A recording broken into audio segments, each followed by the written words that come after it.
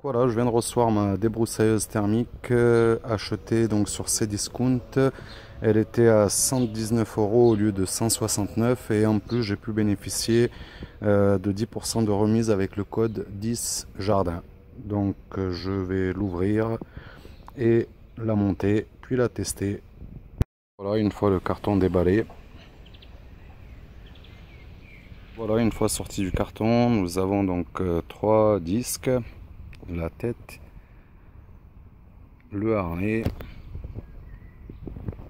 la débroussailleuse, le manuel.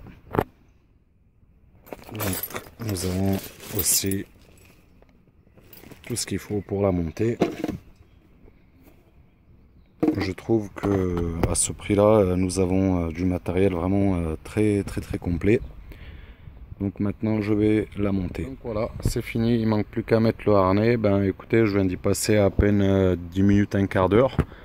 Euh, donc euh, j'ai commencé par la poignée. Donc là il y a un boulon, il a fallu l'enlever pour y mettre la poignée. Ensuite je suis passé par là, j'ai enlevé les quatre boulons et donc j'ai mis la poignée. Sûr il faut le resserrer. Puis pour continuer donc ici ben, en fait ça a été simple. Il suffisait juste de clipser la partie euh, en appuyant euh, sur push. Et puis en bas voilà là aussi nous avons deux boulons. Puis j'ai mis la tête. Donc pour mettre la tête ça a été aussi vraiment facile.